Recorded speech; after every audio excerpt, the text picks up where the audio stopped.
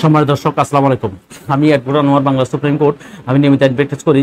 আমি আজকে আপনাদের সামনে যারা মামলা করেছে কিন্তু মিথ্যা মামলা, সেই মিথ্যা মামলায় যে জড়ে গেছে, সে কাউন্টার মামলা কীভাবে করবে, সেটা কিন্তু আমি আজকে আপনাদেরকে জানাই দিব। আমার অ্যাডভোকেট আনোয়ার যারা সাবস্ক্রাইব করেছেন, তাদেরকে অসংখ্য ধন্যবাদ। আর যারা এখন সাবস্ক্রাইব করেন না দেখুন সবাই সাবস্ক্রাইব করবেন। আর পাঁচ টাকা বেলাখনে ক্লিক করে অলে ক্লিক করে দিবেন। এখন আমি মূল আলোচনা আসি আমার এখন যে টপিক্সটা হবে সেটা হচ্ছে কোনো ব্যক্তি যদি মিথ্যা মামলা করে, তাহলে সেটা কাউন্টার মামলা কীভাবে করবেন সেটা কিন্তু আমি জানাই দিচ্ছি।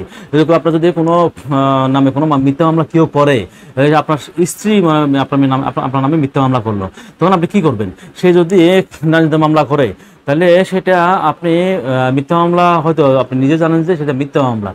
তখন আপনার যদি থানায় মামলা হয়, তাহলে সেটা একটা পুলিশ রিপোর্ট দিবে। সেই পুলিশ রিপোর্টে বিজ্ঞাত যদি আপনাকে জিজ্ঞেস করে যে সাজ ঘটনার সময় আপনি দোষী নির্দোষ, আপনি বলবেন নির্দোষ।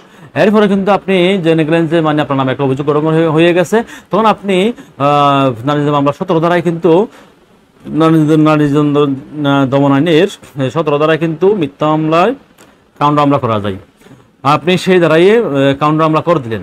আপনার সেই মামলায় যদি আপনার সাজা হওয়ার কোনো সুযোগ নেই, যেহেতু আপনি মিথ্যা মামলা জড়াই গেছেন, কোর্ট কিন্তু এত বোকা না যে আপনার কিন্তু, আপনার মিথ্যা মামলায় জড়াই গেছেন।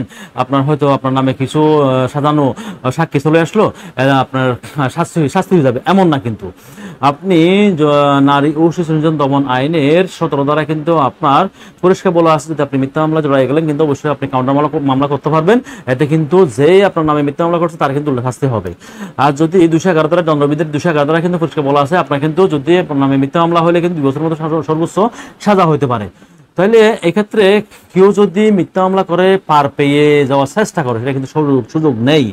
আপনারা কিন্তু মামলা করতে পারবেন, যদি ফেনাল কোর্টে মামলা হলে তাহলে দুশো এগারো দ্বারা আপনি কাউন্টার মামলা করতে পারবেন। আর যদি নারী শিশু- দমন আইনের মামলা হয় তাহলে কিন্তু সেটা আপনার সতেরো দ্বারা কিন্তু কাউন্টার মামলা করতে পারবেন। যৌতুক মামলায় কিন্তু আপনি কাউন্টার মামলা করতে পারবেন। সব মামলা কিন্তু আপনার যদি মিথ্যা মামলা আপনার নামে হয়ে থাকে, তাহলে অবশ্যই সেটা কাউন্টার মামলা আপনি করতে পারবেন, এতে কোনো সন্দেহ নাই।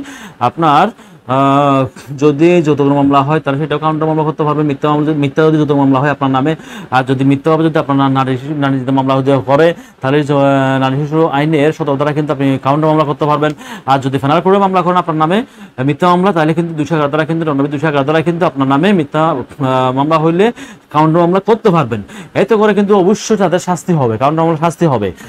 আর সাক্ষী যারা, সাক্ষী অনেকে কিন্তু টাকা দিয়ে কিন্তু সাক্ষীরা সাক্ষী দেওয়ার জন্য আসে। যদি প্রমাণিত হয়, তাহলে কিন্তু তার নামে কিন্তু সাজা, অবশ্যই সাজা হওয়ার সুযোগ আছে। যদি মিথ্যা সাক্ষী দিতে কেউ আসে, তাহলে কিন্তু অবশ্যই সে যদি প্রমাণিত হলে, অবশ্যই তার কিন্তু সাজা হবে। আর যদি এমন যদি হয়, তার সাজার ক্ষেত্রে, তার সাক্ষীর জন্য একটা ব্যক্তির ফাঁসির আদেশ হয়ে গেল। সেটা যদি মিথ্যা প্রমাণিত হয় প্রমাণিত হয়, তাহলে সেই সাক্ষীর কিন্তু ফাঁসি আদেশ হওয়ার সম্ভাবনা দিতে পারে।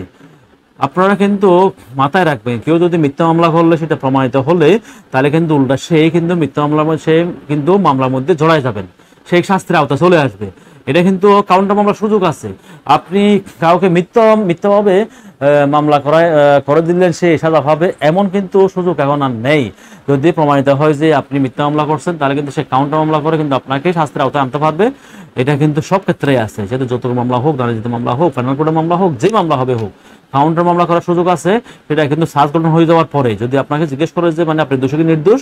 আপনি যখন বললেন যে নির্দোষ, তখন কিন্তু সার্চ গঠন সেটা। এরপরে কিন্তু আপনি মামলা করতে পারবেন কাউন্টার মামলা। সেটা যে মামলায় হবে হোক যৌতুক মামলা যৌতুক মামলায় আপনি কাউন্টার মামলা করতে পারবেন। আর যদি নারীদের মামলা হয়, সেটাও কিন্তু কাউন্টার মামলা করতে পারবেন। থানার কোর্টে মামলা হলেও আপনি কাউন্টার মামলা করতে পারবেন। এতে কোনো সন্দেহ নেই, কোনো সমস্যা নেই। আর যদি কেউ মিথ্যে সাক্ষী দেয়, সেটা, সেটার বিরুদ্ধেও কিন্তু আপনি অ্যাকশন যেতে পারবেন। সেটা আপনি মামলা করতে পারবেন। এবং কোর্ট যদি বুঝে যে সে কিন্তু মিথ্যা সাক্ষী দিতে আসছে তখন কিন্তু কোর্ট তার বিরুদ্ধে কিন্তু অ্যাকশন যেতে পারবে, তার কোনো সন্দেহ নেই। আশা করি আপনারা বুঝতে পারছেন কাউন্টার মামলাটা কি। কাউন্টার মামলা হচ্ছে, আপনার, আপনি নির্দোষ আপনার নামে কেউ মামলা করল, সেটা কিন্তু যদি এভিডেন্স থেকে তাকে মিথ্যা মামলা করছে, সেটা অবশ্যই আপনি কোর্টকে দেখাবে সব কিছু দেখার পরে।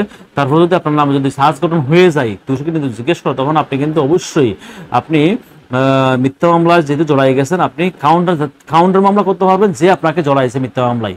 তাদের বিরুদ্ধে আপনি কাউন্টার মামলা করতে পারবেন। সেটা যে মামলায় হবে হোক। যা যে আপনার নামে মিথ্যা মামলা করছে, তার বিরুদ্ধে আপনি কাউন্টার মামলা করতে পারবেন। এতে কোনো সন্দেহ নেই, কোর্ট কিন্তু অবশ্যই গ্রহণ করবে এবং যদি আপনার কাছে এভিডেন্স থাকে, প্রমাণ থাকে ডকুমেন্টস থাকে, সেটা কিন্তু কোর্টে দেখাবেন, দেখানোর পরে অবশ্যই তাদের বিরুদ্ধে কিন্তু শাস্তি হবে। আশা করি আপনারা বুঝতে পারছেন কাউন্টার মামলাটা কি। আর যদি কোনো প্রশ্ন থেকে থাকে স্ক্রিনে আমার নাম্বার দেওয়া আছে, আপনারা সবাই সেই নাম্বারে ফোন দিবেন, যদি ফোন রিসিভ করতে না পারলে পরে ফোন দিবেন। আমি এই বলে আমার ভিডিও শেষ করলাম। আপনারা সবাই ভালো থাকুন, সুস্থ থাকুন, নিরাপদ থাকুন। আবার আমার অ্যাডভোকেট আনোয়ার ল চ্যানেলটা আপনারা সব বেশি বেশি করে লাইক দেন বেশি বেশি শেয়ার করেন আর কমেন্টস করবেন। আসসালামু আলাইকুম।